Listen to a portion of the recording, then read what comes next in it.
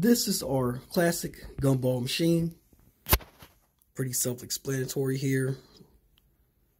37 inch tall. Still in good shape. Had this a couple years now. Kids love it.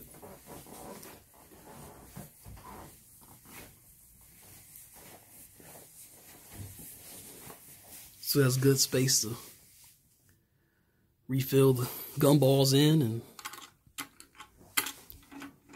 still works. Put a coin in. Really love this old school stuff. Takes me back, you know. Really good investment. And yeah.